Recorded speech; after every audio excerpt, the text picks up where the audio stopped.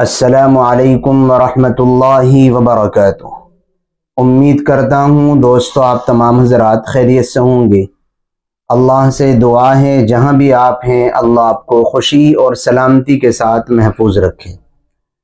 दोस्तों, आज आप हजरात की खिदमत में हम कच्चे गोश्त से मुतक़ चंद अहम ख्वाबों की ताबीर अर्ज़ करने वाले हैं। चुनाचे सबसे पहला ख्वाब ये है कि कच्चा गोश्त काटना ख्वाब में कैसा होता है।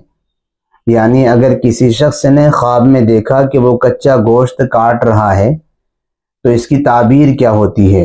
याद रखें कि कच्चे गोश्त का ख्वाब में काटने का जो ताल्लुक़ है, वो इंसान के ख्वाब देखने वाले के कारोबार से होता है। यानी ख्वाब देखने वाले को अपने कारोबार से मुतक़ महतात रहने की एहतियात करने की ज़रूरत है।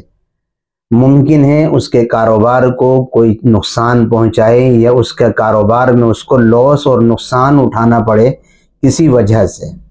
इसलिए अगर आप में से किसी ने इस तरीके का ख्वाब देखा है, कच्चे गोश्त के काटने का तो इस ख्वाब के शर से बचने के लिए आपको सदक़े का अहतमाम करना चाहिए। और अल्लाह ताला से अपने लिए आफ़ियत की दुआ करनी चाहिए। और एक बात हमेशा याद रखें कि जब भी कभी कोई ऐसा ख्वाब देखें जो नापसंदीदा हो, जिसकी ताबीर अच्छी ना हो, या जिसको देखना आप ना चाहते हों, जिसको पसंद ना करते हों तो वो ख्वाब देखने के बाद किसी से बयान ना करें। इसलिए कि हदीस पाक में आता है कि जब बंदा कोई ख्वाब देखता है तो वो ख्वाब जब तक वो किसी से बयान नहीं करता, उस ख्वाब का, उसकी रियल ज़िंदगी पर कोई अच्छा बुरा असर ज़ाहिर नहीं होता। तो अगर बुरा ख्वाब देखा है, किसी से बयान ही ना करें इन आपकी ज़िंदगी पर उसका कोई असर ज़ाहिर नहीं होगा। दूसरा ख्वाब है, कच्चा गोश्त बेचना। किसी शख्स ने ख्वाब में अपने आप को कच्चा गोश्त बेचते हुए देखा है तो इसकी ताबीर ये है कि ख्वाब देखने वाले को जानी नुकसान लाक होगा। यानी उसकी जान को अजियत और तकलीफ़ पहुँचेगी किसी के ज़रिए से। या इसी तरीके पर वो किसी जुर्म का शिकार होगा और उसका जुर्म साबित हो जाएगा। अगर उसने कोई गलती की है तो वो वो साबित हो जाएगी और फिर उसके बाद इसको अपनी गलती और उस जुर्म की सज़ा भुगतनी पड़ेगी, ये इस ख्वाब की ताबीर होती है। तीसरा ख्वाब है, कच्चा गोश्त खाना ख्वाब में। किसी शख्स ने देखा कि वो ख्वाब में कच्चा गोश्त खा रहा है तो इसकी ताबीर ये है कि ख्वाब देखने वाला किसी रिश्तेदार या किसी अज़ीज़ की गीबत करेगा।